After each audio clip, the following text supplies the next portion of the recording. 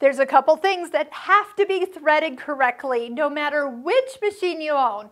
And on the Singer Fashion Mate 3342, that includes putting the bobbin in correctly.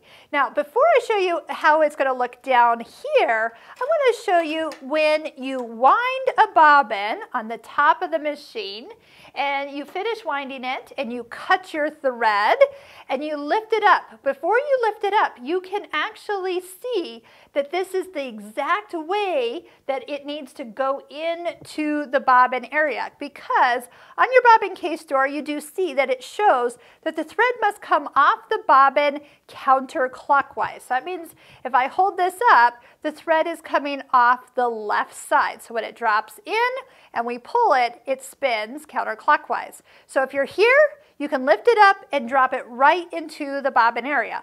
Now, that's not always the case because sometimes you already have a bobbin wound, so you need to pull it out, look at it, make sure your thread is correct, matches the picture on the door, which I love that they put that picture there so I can always double check that I am doing it correctly. Once you drop it in, you are going to find that if you bring your thread so it hooks itself underneath this little uh, gray arm, there's a little arrow. When it slides underneath this, this is helping it guide itself into the bobbin case tension. So for about 6 o'clock to about 7.30 is where the thread is going to click into place. I like to hold my finger on the bobbin while I give it a little pull, and you can even feel it click in. And kind of, once you're here, you can really feel it's in there. It's a little bit tighter. Then follow the guides all the way around and the arrow right here where it has you cut it. So I'm going to actually show you something after I quick do a little sewing. One thing nice about this cut here is it is the perfect length. You don't have to bring the bobbin thread up when you start to sew. You just need to put that cover or door back in place.